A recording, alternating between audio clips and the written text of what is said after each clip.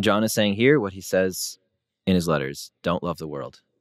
Hmm. If anyone loves the world, the love of the Father is not in him." I think he could have easily, just as easily said, "If anyone loves the world, you know, don't be stamped by the by the world. If anyone's stamped by the world, the seal of the Father is not on him."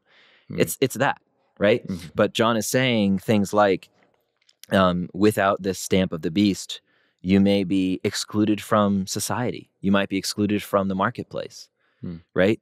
And and this takes different forms in different times but there were christians a couple centuries after this who literally were commanded to burn a little pinch of incense to caesar and then they would hmm. get a little certificate and they'd be fine Hmm. right? And if they didn't if they refused to do that they'd be killed right? And hmm. for them that is what it meant to be stamped by the beast. Like will i will Wow. i just do this tiny little thing that allows Yeah. me to stay and buy and sell and do all this stuff? Hmm. But they read this text and they're saying they would say oh no like that would be to be Mhm. to to be placing my allegiance to the beast instead of the lamb right and and and for us today i think the pressures maybe are more subtle right and that's part of the power of revelation is to is to imbue our everyday subtle sort of life with this cosmic imagery that says what we think is just politics or the markets or the pleasures of or temptations towards anything pornography sexual immorality whatever it is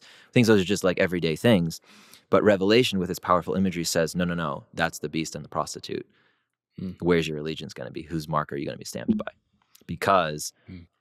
you know where the story's ending right Mm. with the judgment or new creation and whose name you're stamped with determines kind of where you end up